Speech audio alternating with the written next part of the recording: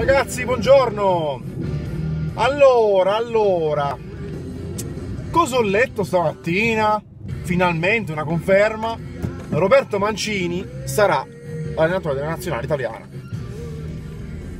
Sono molto contento, sinceramente, perché al di là della simpatia che provo per, l'allenatore, mi è sempre piaciuto. È uno dei miei allenatori preferiti perché comunque vabbè, tolto che all'Inter ha dato, ha dato tanto, ha vinto un po' di trofei e a parte vabbè, l'ultima, due, l'ultima, l'ultima volta che è venuto, vabbè, ma lì purtroppo non poteva fare chissà che cosa. E sembrerebbe addirittura che rinuncia a uno stipendio di tot di milioni con lo Zenit di San Pietroburgo non so se crederci, non so se crederci, perché secondo me boh, qualcosa, qualche buona uscita ci sarà sicuramente. Cioè, dubito che con tutti questi milioni.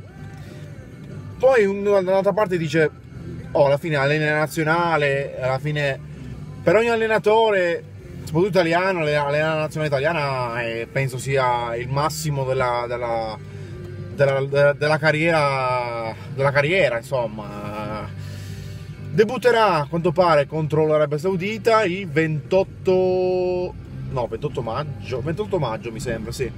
Poi avremo la Francia, Francia-Italia a Nizza, il primo di giugno, e il 4 di giugno Italia-Olanda a Torino. E...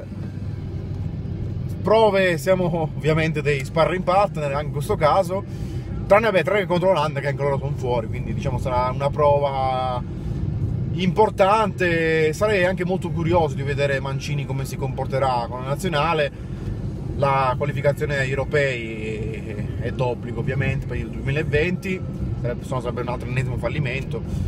Vedremo un po', poi c'è la questione por- primo portiere, sarà Donnarumma primo portiere, chi lo sa, o Perin.